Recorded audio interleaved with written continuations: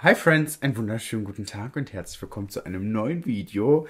Ich bin ein bisschen aufgeregt, denn es gibt einen neuen Skin Make-up Beauty Trend, der auch Maxim Skin heißen könnte. Pearl Skin Trend und wir werden den heute probieren nachzukreieren. Es gibt so viele wunder wunderschöne Looks und ihr wisst ja, wir heiraten dieses Jahr und ich probiere wirklich noch so das ein oder andere i-Tüpfelchen für meine Hochzeit zu finden. Einfach, dass ich aussehe wie ein junger Gott. Und ich dachte mir, wir probieren das Ganze einmal aus. Ich bin wirklich sehr gespannt, weil hier viele Produkte sind, die ihr mit Sicherheit schon kennt, aber vielleicht noch nicht unbedingt zu Hause habt oder vielleicht sogar schon zu Hause habt. Und ich zeige euch, wie wir das Ganze richtig schön glowy, frisch, gesund, aber nicht so ölig, sondern einfach nur eine schöne, glatte, jugendliche, frische Haut hinkriegen.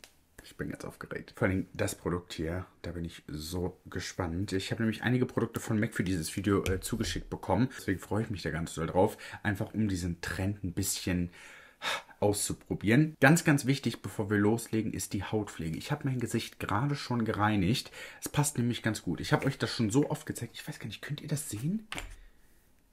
Das ist das Hyper Real Serumizer Skin Balancing Hydration Serum. Das ist, das seht ihr nicht, ne? Ich probiere es euch zu zeigen. Ich habe es euch nämlich schon so oft gezeigt und jetzt seht ihr auch mal. Nee, man sieht es nicht. Ihr müsst es mir jetzt einfach glauben. Und es gibt ja auch den Skin Canvas Balm. Liebe ich sehr, weil der die Haut so richtig schön mit Feuchtigkeit versorgt. Und MAC hat nämlich die Reihe ein bisschen erweitert. Und zwar gibt es jetzt den Hyper Real Fresh Canvas Cream to Foam Cleanser. Ich habe ihn vor ein paar Tagen schon bekommen und ich finde, der ist richtig, richtig gut, weil die Textur ganz besonders ist, ihr habt so eine richtig schöne gelige Konsistenz und wenn ihr die mit Wasser zusammenbringt, wird das ein richtig, richtig schöner, milder Schaum, der das Make-up sehr, sehr gut runternimmt. Ohne, und das finde ich bei Reinigungsprodukten halt immer so wichtig, dass die Haut sich danach nicht so so trocken anfühlt. Und wenn sie sich trocken anfühlt, war es zu viel. Und der ist wirklich, wirklich schön sanft, nimmt das Make-up gut runter. Und auch um den Augen, es brennt nichts in den Augen, hat mir sehr, sehr, sehr, sehr gut gefallen. Den habe ich, wie gesagt, gerade schon benutzt, damit wir gleich weitermachen können mit der Pflege. Weil ich habe so ein bisschen recherchiert. Ne? Wenn es um neueste Make-up-Trends geht, muss ich natürlich immer erstmal ein bisschen schauen, was gibt es, was soll dieser Trend aussagen. Und der Trend ist wirklich Fokus Haut und Highlights setzen. Aber nicht diesen typischen Highlighter, den wir kennen, diese Dubai-Landebahn, sondern eher so einen gesunden Glow und dafür passen die Produkte nämlich ganz gut. Ich starte meistens mit dem Serumizer als erstes, der ist nämlich ein bisschen leichter und gebe mir so zwei Punktstöße drauf. Ihr habt eine sehr, sehr weiche Textur und die trage ich mir direkt ins Gesicht auf und verblende das einmal schön und das zieht super schnell ein und ich glaube, ihr seht schon diesen Glow. Äh, ihr seht das, ich habe extrem viele Rötungen heute, ich sehe müde aus.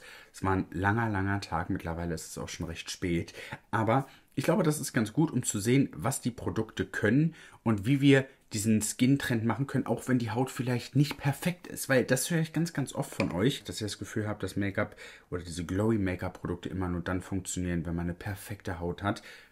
Ich habe eine gute Haut heute, aber super viele Rötungen meine Augenringe sind da. Ich habe noch nicht mal Color Correction draufgebracht. Und mache direkt weiter jetzt mit dem Skin Canvas Balm. Der ist super, super reichhaltig. Also das ist schon fast mein liebstes Produkt aus der Hyper Real Reihe, weil die so reichhaltig ist. Man merkt ja auch manchmal, dass Produkte entweder wirklich nur für Skincare gemacht sind oder wenn Skincare-Produkte auch gut mit Make-up funktionieren. Das ist für mich immer ein guter Punkt. Ihr seht es, also ich bin schon fast am Boden des äh, Tiegels angekommen. Super reichhaltig, gerade jetzt zu dieser Jahreszeit. Sehr, sehr schön. Und jetzt, Freunde, passt auf. Jetzt wird's wild. Ihr habt ja die Bilder gesehen, ne? So. Und also für meine Hochzeit möchte ich nicht zu viel haben. Ich möchte mich aber gut fühlen und ich möchte diesen. Es soll so aussehen, als hätte ich Wochen vorher geschlafen, sehr viel Wasser getrunken, als wäre ich oft bei der Kosmetik gewesen, hätte auf mich geachtet. Äh, wir wissen, glaube ich, ich kann mir vorstellen, alle, die schon geheiratet haben, wissen, dass genau das nicht zutreffen wird, wenn man heiratet. Deswegen probieren wir das Ganze mit diesem Make-up-Trend so ein bisschen hinzukriegen und den Fokus auf die Haut zu legen. Ich werde auf meiner Hochzeit keinen Lippenstift tragen. Ich werde bei meiner Hochzeit wahrscheinlich auch keinen Lidschatten tragen. Maximalen Bronzer in der Lidfalte, weil ich einfach da nicht so viel haben möchte. Jetzt schaut euch bitte einmal kurz den Glow auf meiner Haut an den seht ihr. Passt auf.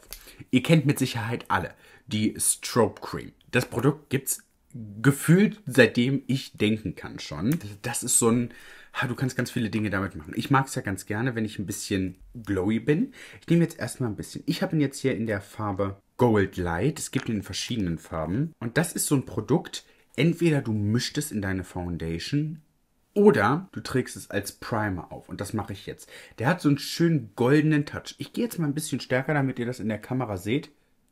Boom. Ohne, und das finde ich bei der Strobe Cream so gut, ohne dass die Hauttextur so hervorgehoben wird. Die Schimmerpartikel sind sehr, sehr klein. Das ist schon wirklich fast dieses Permuttartige. Und da kann man ruhig ein bisschen mehr auftragen. Oder wenn ihr sagt, ihr wollt nicht so viel haben, ihr kennt mich, ich, ich, ich möchte Glow, dann einfach in die Foundation mit reingemischt. Schau mal, ich habe heute extra sogar für euch ein bisschen Ausschnitt rausgeholt. Es gibt halt so Klassikerprodukte, ne? Seid ihr bereit, Freunde? Jetzt geht's, jetzt ist wild. Es gibt ja auch eine neue Foundation von MAC, die Studio Radiance Foundation. Ich habe gelernt, ich habe nämlich damals viel zu, viel zu viel äh, benutzt. Ähm, weniger ist mehr. Ich mische mir so ein bisschen die Farben, weil ich habe hier die Farbe NW11 und die NW15. Ich gehe erstmal mit der NW11 lang. Die ist ein bisschen zu hell im Moment. Zwei Pumpstöße hiervon, ein Pumpstoß davon. Und bevor wir jetzt mit Make-up raufgehen, schaut euch bitte einmal diesen Glow an. Wie unglaublich schön der ist. Und ich habe noch nicht mal Color Correction drauf. Stellt euch jetzt vor, ich hätte die paar Pickelchen vielleicht sogar schon abgedeckt. Das würde nochmal ganz anders aussehen. Aber jetzt wollte ich euch einfach mal meine Haut auch zeigen, wie sie aussieht. Es gibt Tage, da sehe ich einfach auch mal so aus. Jetzt arbeiten wir mit der Foundation. Und wir arbeiten heute in der dünnstmöglichen Schicht. Das ist das Wichtige.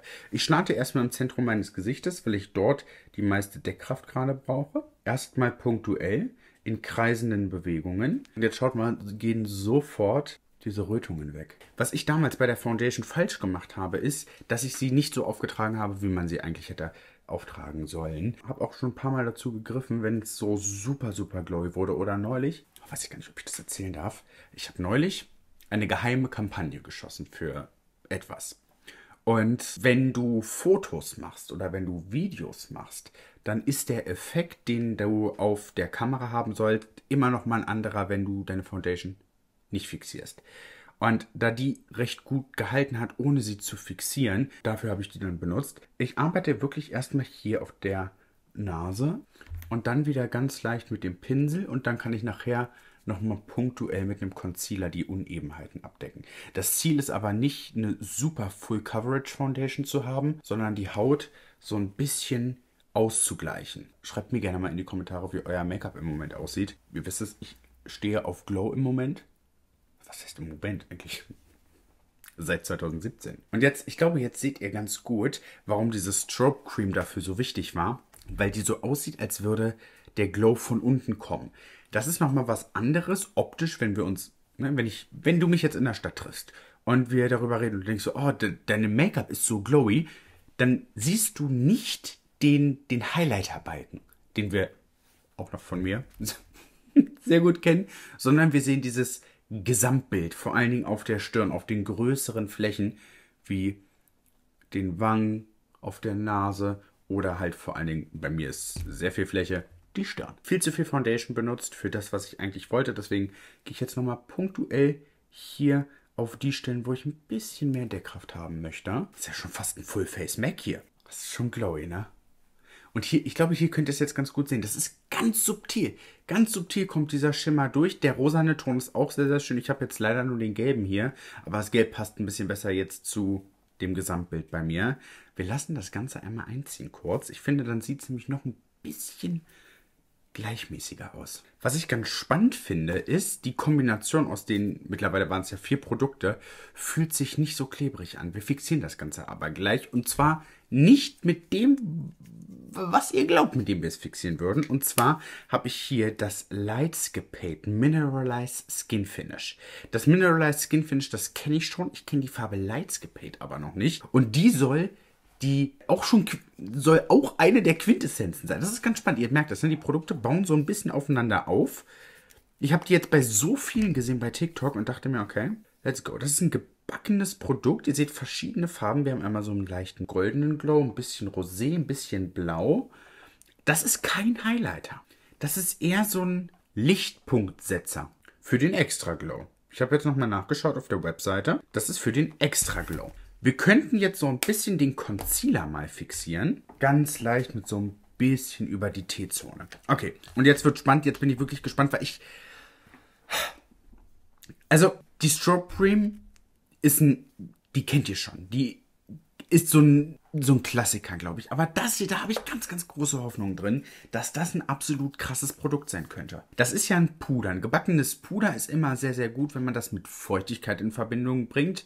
Die Textur aus so einem gebackenen Produkt war ja mal feucht und dort durch das Backen wurde die Feuchtigkeit entnommen.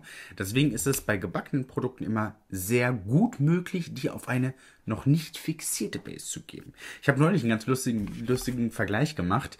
Ähm, wenn ihr euren unteren Augenbereich probiert zu fixieren und ihr zu viel auf einmal raufgebt, ist es wie beim Backen. Wenn du zu schnell Milch und Mehl zusammenmischst, klumpt der Teig. Wenn du es langsam die Flüssigkeit in, das, äh, in die trockenen äh, Ingredienzen bringst, dann wird das ein sehr, sehr gleichmäßiger Teig. Beim gebackenen Produkt ist es nochmal ein bisschen anders. Ich nehme jetzt einen ganz großen Pinsel und fixiere jetzt erstmal damit auf der Stirn.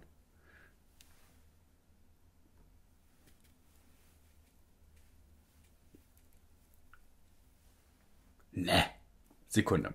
Also, wir müssen es jetzt nicht so übertreiben wie ich, aber das ist ja schon so perlmuttig. Und ich möchte, ich möchte gleich aussehen wie eine Perle. Wenn der, wenn der Trend sagt Pearl Skin, will ich Pearl Skin. Ich nehme jetzt nur den Rest, den ich hier dran habe und gehe erstmal grob über meine T-Zone. Da will ich nämlich nicht zu viel davon haben. Kommt mal ran auf den Meter. Seht ihr das nämlich einmal. Also die Stirn ist fixiert. Wie als hätte ich sie mit einem Face Powder fixiert. Aber aber sie fühlt sich nicht so an. Wir können das Ganze natürlich auch ein bisschen punktueller machen. Ich nehme jetzt hier einen etwas kleineren Pinsel und arbeite mir hier aus dem etwas goldeneren Bereich, die werden natürlich immer alle so ein bisschen anders aussehen, und das platziere ich einfach nur hier rüber. Schaut mal, ich habe hier einen Pickel gehabt, den, also, ne, habt ihr gerade gesehen. Die Textur wird nicht hervorgehoben. Hier seht ihr nochmal das Licht gehe einfach nochmal rüber und fokussiere mir das jetzt einfach. Ich will es überall haben. Ich nehme etwas fester gebundenen Pinsel und gebe mir das jetzt über meine Augen. Ich möchte so ein permuttiges Augenlid haben. Das ist ganz spannend. Ich weiß nicht, ob das in der Kamera so rüberkommt. Das, also durch diese verschiedenen Farben passt sich das natürlich sehr, sehr gut an die Haut an. Hier so ein bisschen, noch ein bisschen mehr. Wir sahen schon oft aus wie der Zinnmann, wenn wir probiert haben, glowy zu werden. Aber das ist nochmal was anderes. Ich will jetzt nochmal ein bisschen Farbe zurück ins Gesicht bringen, weil ich habe noch keinen Bronzer, kein gar nichts aufgetragen. Äh, ich habe jetzt hier noch die Farbe Fairly Precious Extra Dimension Blush. Den habt ihr schon ein paar Mal gesehen bei mir. Das ist so ein Blushleiter. Ich glaube, der passt da ganz gut dazu. Tupfe ich jetzt hier einfach nur noch mal so ein bisschen rüber. Das wird nämlich heute eine sonnengeküsste Perle sein. What is this? Ich habe noch ein bisschen Bronzer aufgetragen. Hier so auch in die Lidfalte. Look at me. Also, look at me, meine Haare. Was ist hier passiert? Okay, Sekunde, ich muss mich mal kurz sammeln, weil das. Das ist halt so eine Summary Skin, ne? Das ist so. Oh, wir haben 30 Grad draußen. Ich habe nur ne, die dünnste Schicht Make-up im Gesicht. Aber meine Skin ist skinning. Schaut euch das einmal bitte im Close-Up an.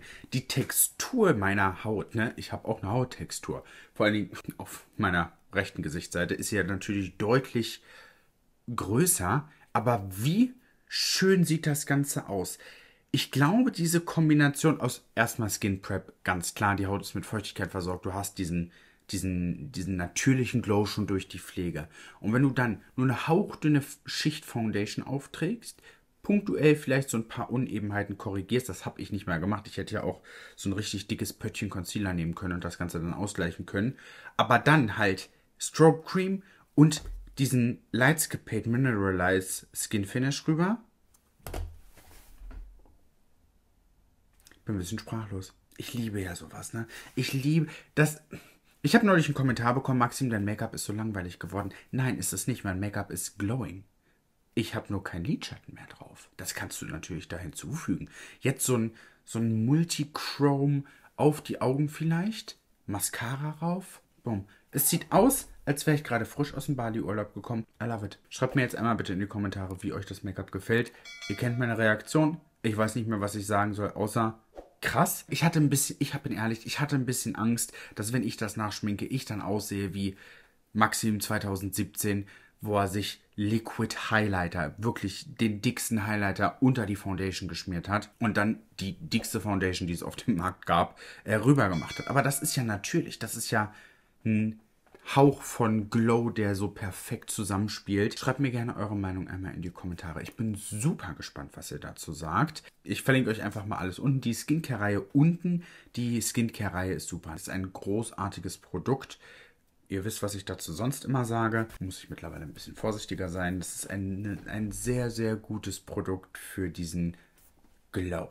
Ich bin sehr gespannt, was ihr zu dem Pearl Skin Trend sagt. Schreibt mir eure Meinung in die Kommentare und wir sehen uns ganz bald hier wieder. Bis zum nächsten Mal.